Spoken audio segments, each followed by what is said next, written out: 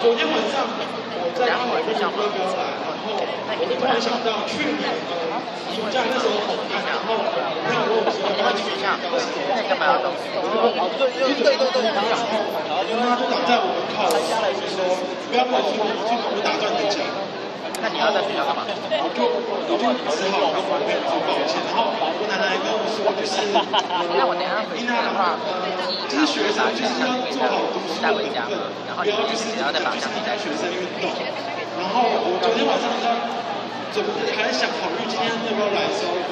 我就突然想到这件事情，然后很多 po 了篇文，就是想到我讲到去年那件事，然后我朋友他们下面就推我，就是说他已经买好票，就是要走，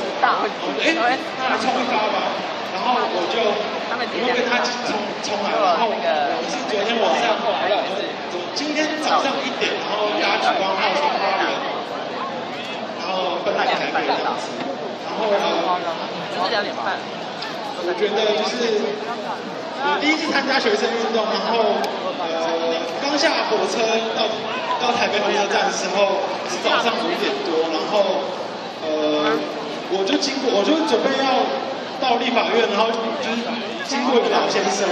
他就对我大喊说：“学生就是读书，然后高中学生运动。”我就被吓到，我是没有想到就是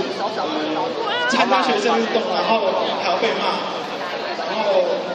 然后还要就看到巨马，我就有点害怕，就是呃电视上看到巨马，原来现实中是长那样子。然后还有看到警察，然后还有警棍，就是会害怕说如果万一跟起冲突的话，会是怎么样的情况？呃，然后最后呃我想说的就是，就是对。服务业其实会产生很大的影响，就是呃。我有一个朋友，他呃，他很喜欢做这个，可是他没有发生这件事情，但是我想跟他说，就是如果有一天你的朋友，然后你的工作，然后被你一个大陆人抢走你的饭碗，可是你们这么努力去每天练习彩妆，可是会被一个大陆人抢走你的头衔，薪水还更高，我觉得这是一件很懊的事情。谢谢大家。